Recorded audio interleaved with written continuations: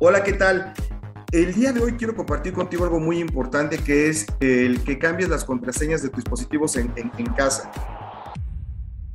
mira, el, trabajo y el estudio desde casa se ha incrementado la dependencia que tenemos con nuestra conexión a Internet hogareña y los dispositivos que se conectan, las cámaras, las computadoras, los celulares, las tabletas. Pues con el inicio de la pandemia nos vimos obligados a mejorar nuestro servicio de Internet, ¿no? Residencial. Tuvimos que que crecer el ancho de banda, mejorar los planes por, por todos los dispositivos que estaban conectados, eh, y si no, no podían trabajar bien.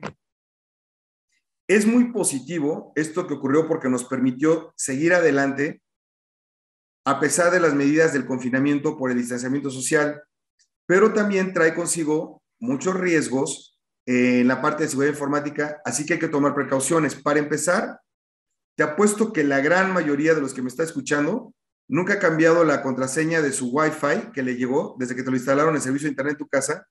Y esto podría poner en riesgo a todos los integrantes de tu hogar. ¿eh? O sea, el gran problema es que la mayoría de los equipos se tienen configurado una contraseña que viene de fábrica. Y en muchos casos basta con saber la marca del equipo y buscar una contraseña de administrador en Google para obtenerla. Entonces, todos los que tengan Infinitum, eh, Total Play y demás, si no lo hayan cambiado, pues los delincuentes, la verdad, lo único que tienen que hacer es pararse afuera de tu casa a cierta distancia y van a tener acceso a tu conexión inalámbrica y podrían estar monitoreando todo lo que pasa por tu red de tu casa. Lo mismo sucede con las cámaras de seguridad, pantallas, access point, punto de acceso, cualquier dispositivo que lo conectes a la red.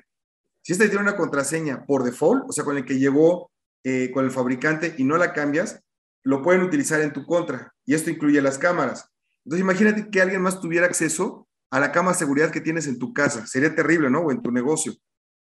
Por si fuera poco, los ataques basados en ingeniería social o el famoso phishing a través de mail, mail y mensajes SMS o WhatsApp son de los que más hemos visto que son víctimas los internautas mexicanos y, y la suma va a la alza.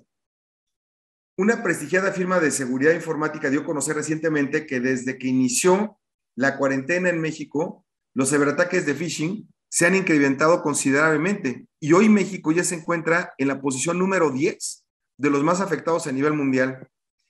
Recuerda que el phishing es el acto de intentar engañar a los destinatarios de un correo o de un mensaje por WhatsApp porque es malicioso ese mensaje.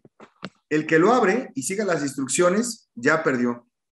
El remitente del correo electrónico casi siempre engaña a la víctima, haciendo que el mensaje parezca provenir de una fuente fiable como un organismo estatal, un proveedor, un cliente de una empresa y sobre todo organismos gubernamentales como el SAT o el banco.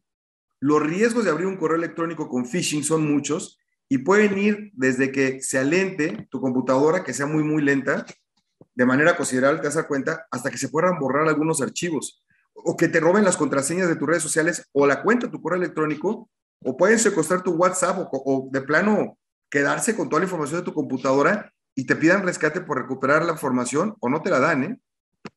Hay que poner mayor atención en nuestro hogar desde el punto de vista de la seguridad informática, especialmente ahora que dependemos tanto de la conectividad de nuestro hogar para trabajar y para estudiar. Si quieres obtener más consejos de cómo protegerte, entra a mi portal en internet soyfernando.com y ahí están a tu disposición de manera gratuita. Nos escuchamos la próxima semana.